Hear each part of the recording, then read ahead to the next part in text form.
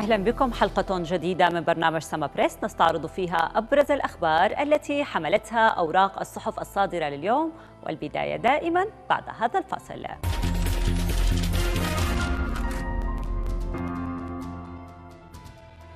أهلا بكم من جديد. البداية مع فقره بالخط العريض ونستهلها بما حملته الصحافة السورية لنقرأ من الثورة التي عنونت الرئيس الأسد خلال لقائه عبد اللهيان.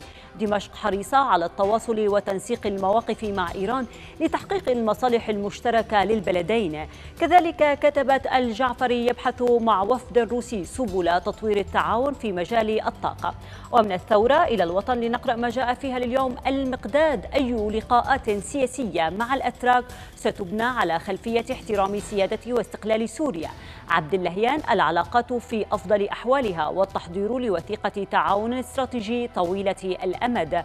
والإرهابيون في خفض التصعيد يصعدون هجماتهم بتشجيع من ضامنهم التركي. الجيش يشن هجوما معاكسا ضد النصرة شمال اللاذقية ويكبدها خسائر كبيرة.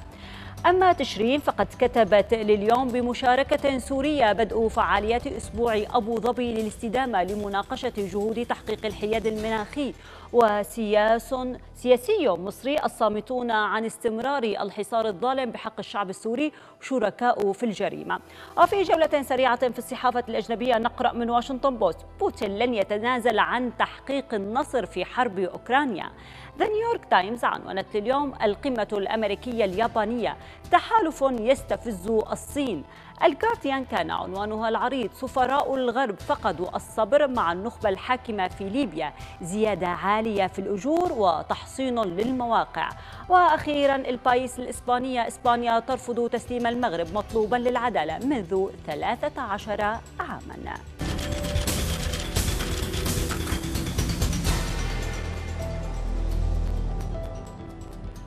ومن السياسة إلى الرياضة وعناوينها حيث عنونت صحيفة ماركا لليوم اتحاد جدة يعرض 350 مليون يورو راتبا سنويا لضم ميسي. وبرشلونة يخطط للتخلص من مدافعه غارسيا خلال سوق الانتقالات الشتوية. كورييري ديلو سبورت كتبت اليوم ميلان يتعادل مع ليتشي ويحتل المركز الثاني بترتيب الدوري الإيطالي ونابولي يفوز على جوفنتوس بخماسية نظيفة.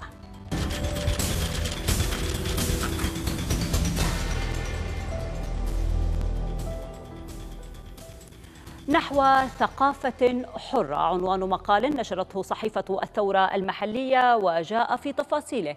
تحديات ثقافة الجيل الجديد كبيرة وطرقها ووسائلها اختلفت كثيرا ولم يعد التطور يحكمها بل إن وسائل التكنولوجيا الحديثة عبثت بالهوية الثقافية لأبنائنا وبدلت الحال في كثير من الأحيان هل تكفي عروض مسرحية متنقلة بين المحافظات السورية لتنمية ثقافة وفكر وعقل الطفل السوري؟ وهل يستطيع أبناء الأرياف حضور العروض المسرحية المخصصة لمسارح المدن؟ أو هل من نشاطات ثقافية تغطي الجغرافيا السورية خاصة؟ وإننا على أبواب العطلة الانتصافية لطلاب المدارس التشاركية بين وزارة التربية ووزارة الثقافة والمجتمع المدني والأهلي والفعاليات الاقتصادية ضرورة في التفكير والنقاش والحوار والبحث لتقديم ما يلزم لإنتاج ثقافة وطنية وإيصالها لأبناء الجيل الجديد كي لا تأخذها وسائل التكنولوجيا والفضاء الأزرق نحو ثقافات دخيلة. لا علاقة لها بالهوية العربية والسورية والتراث الإنساني بصلة.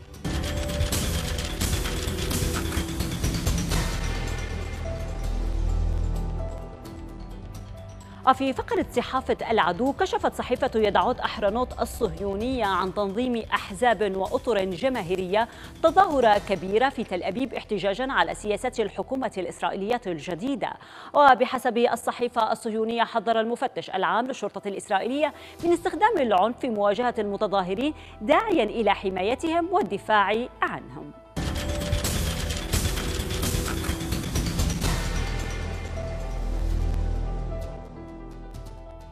وفي فقرة تويتر لليوم نتناول تغريدة تحت عنوان الشعور بالتوتر أو الإرهاق في منتصف العمر قد يزيد من خطر الإصابة بالخرف. وفي تفاصيل تغريدتنا اليوم توصلت دراسة نشرت على تويتر إلى أن الشعور بالتوتر أو الإرهاق في منتصف العمر قد يزيد من خطر الإصابة بالخرف. وتم الحصول أيضا على البيانات التي استمر فيها المشاركون لتطوير الخرف من السجلات الصحية. وكشف التحليل أن أولئك الذين قالوا إنهم عانوا في كثير من الأحيان من الإجهاد أو الاكتئاب أو العصبية. منذ وقت مبكر من سن الخامس والأربعين لديهم خطر متزايد بنسبة 17 إلى 24% للإصابة بالخرف.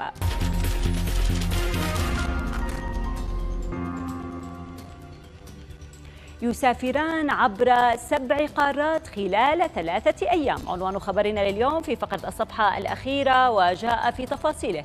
سجل رجلان هنديان رقما قياسيا عالميا جديدا في موسوعة جينيس للأرقام القياسية بأسرع وقت للسفر إلى جميع القارات السبع في 73 ساعة فقط. وأوضح سجل الأرقام القياسية على موقعه على الإنترنت أن أسرع وقت للسفر إلى جميع القارات السبع هو ثلاثة أيام وساعة واحدة وخمس دقائق. وقد حققه رجلان هنديان حيث انطلق الرجلان من القارة القطبية الجنوبية وصولا إلى أستراليا. وقال الثنائي اليوم قد ننجح في تحطيم رقم قياسي لكن غدا سيأتي شخص آخر ويحطمه إنجاز عبر عبر عنه مغردون باندهاشهم ليعلق أحدهم. أعتقد ثلاثة أيام لا تكفيني لسفر من ولاية إلى أخرى لأعبر فيها ثلاث قارات.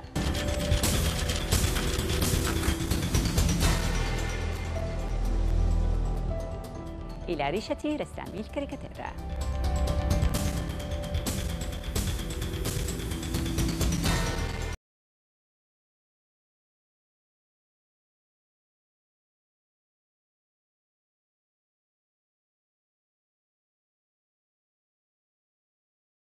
أوراق الصحف الصادرة لليوم. إلى اللقاء.